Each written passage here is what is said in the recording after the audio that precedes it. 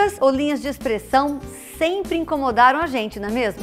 Saiba o que pode ser feito para evitar esse desconforto aqui na PTV.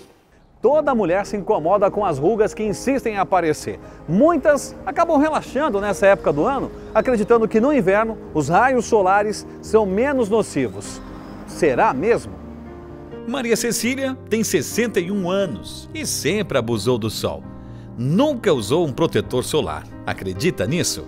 Eu nunca me preocupei com pele, essas coisas. Eu sempre fui muito desligada. Eu nunca fui vaidosa. Sempre fui desligada mesmo. Eu fiquei, eu fiquei ficava com medo de fazer um, um tipo de um tratamento que ficasse assim tudo deformada. Não uma plástica assim, né? Deformasse. Mas no resto eu nunca, nunca me preocupei mesmo. Shirley tem 66 e, ao contrário da Maria Cecília, sempre se protegeu. Sempre passei protetor solar, né? Creme à noite, né? E era só isso. O que assusta não só a Maria Cecília ou a Shirley, mas sim todas as mulheres, é ficar com sinais profundos da idade na pele. Mas afinal, existem diferenças entre essas linhas de expressão? Existem dois tipos de rugas eh, em específico, que são as profundas e as superficiais. Elas podem ser classificadas como estáticas ou dinâmicas. As estáticas são aquelas que, mesmo com o rosto em descanso, são bem visíveis, marcantes. Já as dinâmicas são aquelas que, com um sorriso ou um franzir de testa, elas aparecem firmes e fortes. Mas o que causam essas temidas rugas?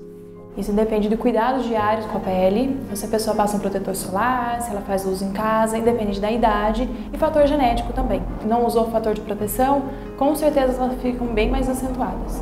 Por que será que isso acontece?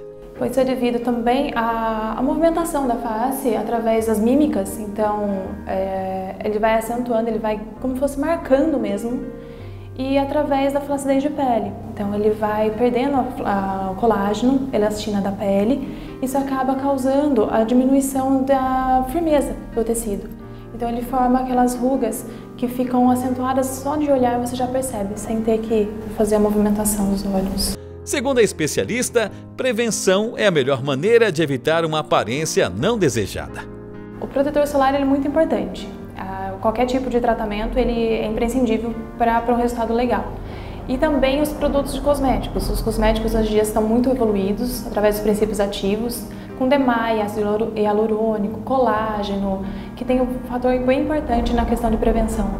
O tratamento de rejuvenescimento busca estimular as fibras musculares do rosto e suavizar essas linhas de expressão.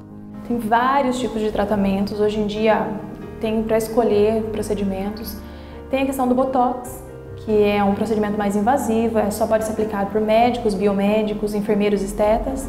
E tem a questão de aparelho também, que é bem interessante. Tem luz pulsada, tem a radiofrequência, carboxterapia, tem microcorrentes, tem muita coisa legal para estar tá fazendo no tecido para melhorar. Além da associação dos cosméticos também, né? Podemos associar eh, procedimentos mais invasivos mesmo, que às vezes a pessoa fica com uma marquinha, então se ela tomar sol poderia ficar com uma sequela, uma mancha. Então nesse inverno já não tem esse problema. Então com certeza é a época certa para começar um tratamento estético.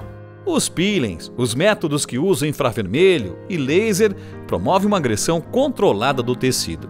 E é dessa forma, no processo de regeneração, surge também a renovação do colágeno e elastina. O resultado é bem satisfatório. Varia entre 60, 80, até um 85, 90% da pele. Tem um resultado bem bacana.